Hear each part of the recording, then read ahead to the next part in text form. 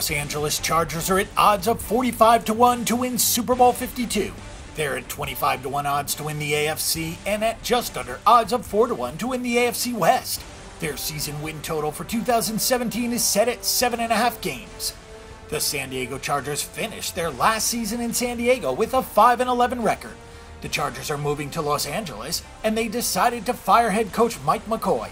Now the Los Angeles Chargers have head coach Anthony Lynn calling the shots, with Ken Whisenhunt remaining as the offensive coordinator. The Chargers averaged 25.6 points per game, and that wasn't the main problem with all of their close losses. Still, the offense can be a lot better this season. But defensively, the Chargers hired Gus Bradley as the new coordinator. He has a lot of work to do to get the defense playoff ready. Last season, they gave up 26.4 points per game. That was the number 29th ranked scoring defense in the NFL. The win total is set at 7.5 games, therefore, the Chargers would need a three game improvement from last season to hit the number. Still, 8 wins is likely to fall short from making the playoffs.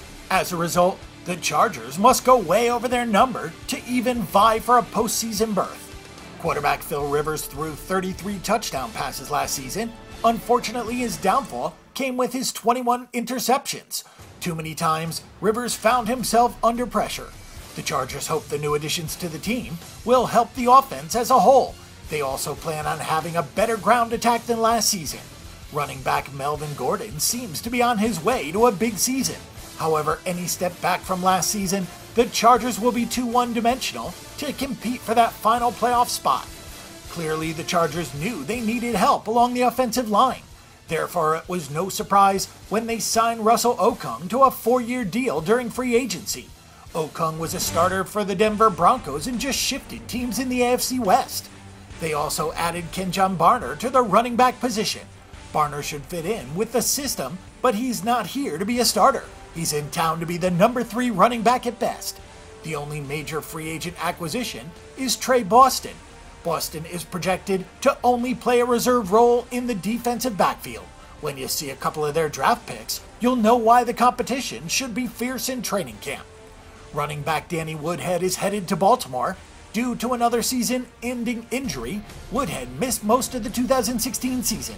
However, they should have running backs to help in the passing game. Offensive guard DJ Fluker also signed with the New York Giants. Manti Te'o signed with the New Orleans Saints, and word is he might have a tough time making the Saints defense since they are loaded at linebacker. Therefore, keep an eye out if Te'o gets cut. He may make it back to the Chargers. In addition, cornerback Robert McClain signed a one year deal with the Tampa Bay Buccaneers. The Chargers used their top round picks in the NFL draft on offense and rounded up some impressive talent. The Chargers don't need much to be better than last season. If they are able to dominate fourth quarters, it wouldn't be a surprise if they make a run at the playoffs. Unfortunately, the Chargers are probably in the toughest division in the NFL. The AFC West had the Oakland Raiders and Kansas City Chiefs each finish with 12 and 4 records. The Broncos probably have the best defense in the division, and despite Derek Carr's ascension and new contract, Philip Rivers may still be the best quarterback in the AFC West. In a competitive conference with a difficult schedule moving locations, it may be just too much to expect 8 plus wins out of the Chargers this season, so we'll have to go with under the total of 7.5 wins. For our pick and prediction on this game and every other game this week, and a wealth of free stats and information, check out bangthebook.com.